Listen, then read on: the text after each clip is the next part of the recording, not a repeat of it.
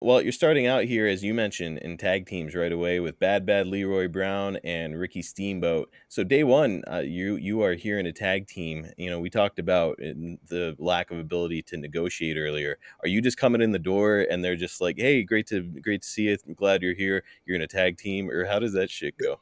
That was it. that was it. I mean, you know, it's no still- lead up, no lead up, no prep, no nothing.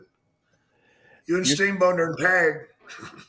you're still young, uh, so it's like you know. I, I, guess it's cool to continue to, to learn and watch from the apron and stuff. But I have to imagine that after like a singles run and being the North American champion, you've got to be frustrated as hell.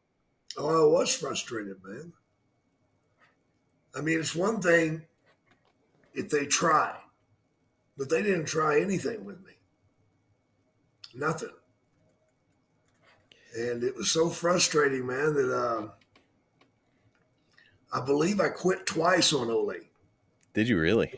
Yeah, I went home to Texas, and then they'd call me, and I'd come back. How stupid was that?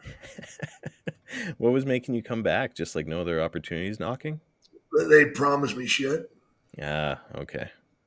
Then I'd go back, and they didn't fulfill it again. Are they promising you like titles, singles runs? They're they're promising me a run. Okay. So I wind up getting pissed off and going to Florida. And joining forces with Satan down there. Yep. Um, so uh, Ricky Steamboat, we talked about him a little bit on our episode. He's a mainstay here in Mid Atlantic. He's going to win United States and heavyweight titles there. Uh, can you give us a little f- refresher? You know, what did you think about Ricky during these early days around him? His time around me, man, was always great. He was great in the locker room. He was great in the car on the highway, and he was damn sure great in the ring. Mm-hmm. You know, he was a gentleman. Uh, he was a fun guy to be around.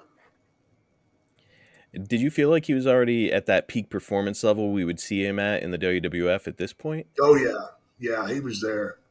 He could do anything. He's super over with the crowd, and it is kind of you know if you're going to be paired with mm. somebody in a tag team, probably not the worst guy to be paired with right out of the gate. No, absolutely not. But they just didn't have plans for either one of us.